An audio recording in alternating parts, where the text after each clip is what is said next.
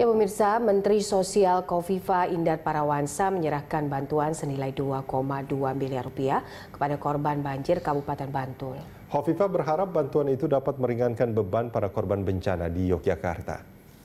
Menteri Sosial Hovifa Indar Parawansa menyambangi para pengungsi korban bencana banjir di Kabupaten Bantul yang hingga saat ini masih bertahan di posko penampungan pengungsi di Balai Desa Kebon Agung Imogiri Bantul.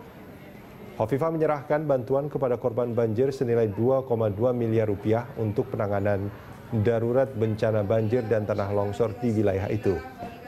Bantuan itu terdiri dari santunan kematian untuk 11 orang ahli waris senilai 165 juta rupiah. Santunan korban luka kepada empat orang senilai masing-masing 10 juta rupiah.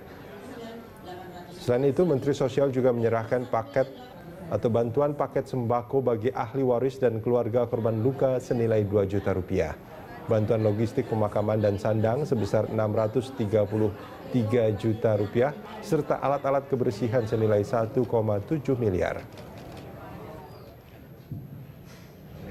Saya menyebut baru 1,8 miliar karena kita akan menunggu kembali kalau ada pengajuan jaduk jaminan hidup. Bagi yang rumahnya rusak berat, sangat mungkin mereka tidak langsung bisa beraktivitas ekonomi. Maka mereka eligible untuk terima jaduk.